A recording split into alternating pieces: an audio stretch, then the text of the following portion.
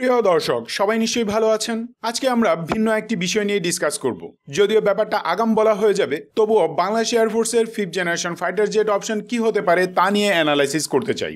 ইতিমধ্যে আমরা সবাই জানি যে বিমান বাহিনীর এমআরসিএ কেনার প্রসেস স্লো হয়ে গেছে দাম সংক্রান্ত কারণে। যাই হোক না কেন, প্রযুক্তির কল্যাণে দুনিয়া দ্রুত এগিয়ে যাচ্ছে, আর এক্ষেত্রে অগ্রগামী হয়ে আছে মিলিটারি সাধারণত এয়ারফোর্স এবং নেভি সবার আগে অ্যাডভান্স টেকনোলজি অ্যাডাপ্ট করে। আমাদের নৌবাহিনী সাধ্যমতো আধুনিক প্রযুক্তিতে আধুনিকায়ন করে যাচ্ছে সেনাবাহিনীও সক্ষমতা বৃদ্ধি করছে তাল মিলিয়ে। সে তুলনায় বিমান বাহিনী কিছুটা হলেও পিছিয়ে আছে। এয়ার ওয়ারফেয়ার এখন পঞ্চম প্রজন্মের ফাইটার জেটের যুগে প্রবেশ করেছে। আমেরিকা, চায়না, ইতালি, যুক্তরাজ্য নেদারল্যান্ডস অস্ট্রেলিয়া রাশিয়া তুরস্ক জাপান সহ ডজন খানেক দেশ টু জিরো টু টু মানে দুই হাজার বাইশ সালের আগেই fifth generation stealth fighter jet মোতায়েন করতে যাচ্ছে। এর মাঝে ইতিমধ্যে আমেরিকা যুক্তরাষ্ট্র এবং চায়না তাদের fifth generation stealth fighter jet মোতায়েন করেছে। পরবর্তী দশকের মাঝে সম্ভাব্য আরও ডজন দেড়েক দেশ ফিফথ জেনারেশন ফাইটার জেট মোতায়েন করবে। সার্বিক জাতীয় নিরাপত্তা নিশ্চিতকরণে বাংলাদেশ এয়ারফোর্সের উচিত এখনই এ ব্যাপারে পরিকল্পনা গ্রহণ করা।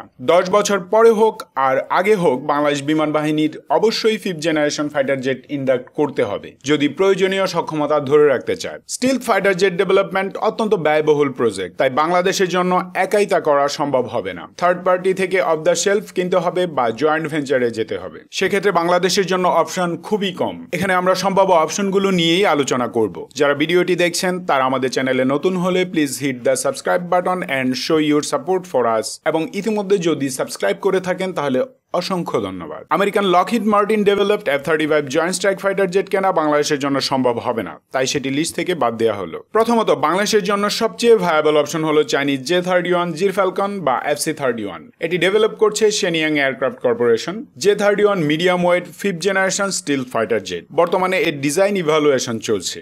এ পর্যন্ত তিনটি প্রোটোটাইপ বানানো হয়েছে। চাইনিজ এয়ারফোর্স এটি ইন্ডাক্ট করবে কিনা তা নিশ্চিত নয়, কারণ ইতিমধ্যে তারা Chengdu aircraft corporation developed J twenty mighty dragon active সার্ভিসে ইন্ডাক্ট করেছে। জে থার্টি ওয়ানের দাম পঁয়তাল্লিশ থেকে পঁয়ষট্টি মিলিয়নের মাঝে থাকবে বলে আশা করা যায়, এবং দুই হাজার চব্বিশ সালের মাঝে প্রোডাকশন মডেল ফাইনাল হয়ে যাবে। যেহেতু বাংলাদেশ চায়না সামরিক সম্পর্ক খুব ভালো, এবং এই সম্পর্কে সূত্র ধরে বলা যায় যে জে থার্টি ওয়ান বাংলাদেশের জন্য সবচেয়ে সহজলভ্য অপশন।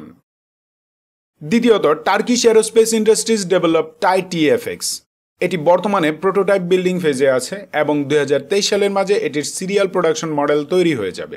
ভ্রাতৃপ্রতিম দেশ হওয়ায় বাংলাদেশের জন্য এটি একটি অনন্য অপশন। তাছাড়া টার্কিশ প্রযুক্তি চাইনিজদের থেকে বেটার তুর্কির প্রায় বিশটির মতো private public company American Lockheed Martin নেতৃত্বাধীন এফ থার্টি ফাইভ প্রজেক্টে যুক্ত আছে। তাদের স্টিল ফাইটার সংক্রান্ত প্রযুক্তি বা এই সংক্রান্ত প্রযুক্তির ধরন ওয়েস্টার্ন ধাঁচের। তুর্কি এয়ারফোর্স দুইশো থেকে তিনশোটি টিএফএক্স জেট কিনবে নিশ্চিত। মূল্য হতে পারে নব্বই থেকে একশো মিলিয়ন ডলার প্রতিটি। আঙ্কারা ইতিমধ্যে পাকিস্তান এয়ারফোর্সকে এই প্রজেক্টে জয়েন করার জন্য আহ্বান জানিয়েছে। ব্রিটিশ বিএই সিস্টেমস বর্তমানে বর্তমানে টার্কিশ এরোস্পেস ইন্ডাস্ট্রিজের সাথে এ ব্যাপারে কাজ করছে। বাংলাদেশ বিমান বাহিনী যদি টাইটি এফএক্স কিনে, তাহলে বিভিন্ন দিক থেকে সেটি প্রযুক্তিগতভাবে এগিয়ে থাকবে।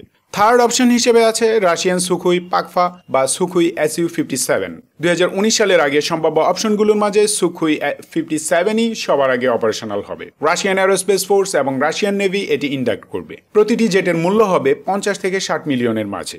ইন্ডিয়ান এয়ারফোর্স এফজিএফএ নামে এর একটি ভার্সন কিনবে। ডেভেলপমেন্টাল ফেজে এটি টি ফিফটি নামে পরিচিত ছিল। বাংলাদেশ এয়ারফোর্সের জন্য সুখুই ফিফটি সেভেন একটি কার্যকর অপশন হতে পারে এবং এটি সম্ভাব্য অন্যান্য স্টিল জেটগুলোর আগেই অপারেশনাল হবে। চতুর্থত South Korea Indonesian KAI K FX এই প্রজেক্ট বর্তমানে প্ল্যানিং অ্যান্ড ডিজাইন ফেজে আছে। সম্ভাব্য অপশনের মাঝে এটি সবচেয়ে পিছিয়ে থাকবে। কাইকে এফএক্স পুরোপুরি ফিফথ জেন স্টিল ফাইটার হবে, নাকি স্টিল ডিজাইনে four plus plus generation jet হবে, তা নিশ্চিত নয় এখনও। দুই হাজার পঁচিশ সালের আগে কে রেডি হবে না। বিভিন্ন দিক বিবেচনায় বাংলাদেশ এয়ারফোর্সের কে এফএক্স কেনার সম্ভাবনা অনেক কম। নেক্সট জেনারেশন ফাইটার জেটের ব্যাপারে বিমান বাহিনীর উচিত এখনই পরিকল্পনা গ্রহণ করা। প্রতিকূল পরিস্থিতিতে তাহলে এগিয়ে থাকা যাবে। এয়ার পাওয়ারের উপর একটি দেশের ন্যাশনাল সিকিউরিটি অনেকখানি নির্ভর করে। পর্যাপ্ত ফাইটার জেট ছাড়া এয়ার পাওয়ার মেনটেন করাও দুঃসাধ্য। তাই আমাদের আশা, বিমান বাহিনীর পলিসি মেকাররা এ ব্যাপারে চূড়ান্ত সিদ্ধান্ত নিতে খুব বেশি দেরি করবে না।